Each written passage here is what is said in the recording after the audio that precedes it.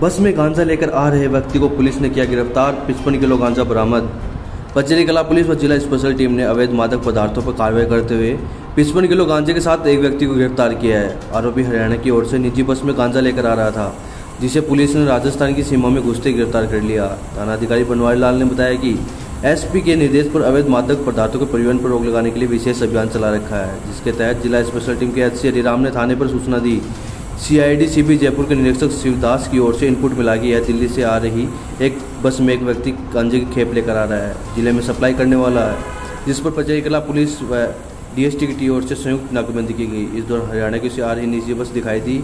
Input के आधार पर बस को रुकवाकर तलाशी ली। तो युवक घबरा गया, जिसके बाद तीन बैग मिले। तलाशी में पचपन किलो गांजा भरा हुआ था। पुलिस ने सूत्रधार पुत्र अर्जुनपुर सूत्रधार निवासी अमीरवास असम को गिरफ़्तार कर लिया। कल दिनांक तेईस सात दो हज़ार बाईस को श्री शिवदास जी यही साहब सी आई टी सी जयपुर से इतना मिली थी कि हरियाणा में नानोड साइड से गजराज लिखा हुआ एक प्राइवेट बस आ रही है। उस बस में एक व्यक्ति है, जिसके पास अवैध मादक पदार्थ होने की सूचना है। इस सूचना पर थाने के सामने डीएसटी टीम थानाधिकारी द्वारा नाकाबंदी करवाई गई। सवा सात साढ़े सात बजे के समथिंग गजराज लिखी हुई प्राइवेट बस आई उसको रोका और तो तलाशी ली गई।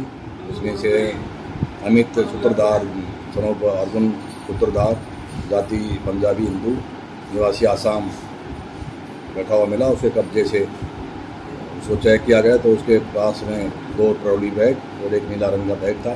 जिसमें कुल पचपन किलो गांजा बरामद हुआ था। मौके पर जब्त किया गया और उसको गिरफ़्तार किया गया।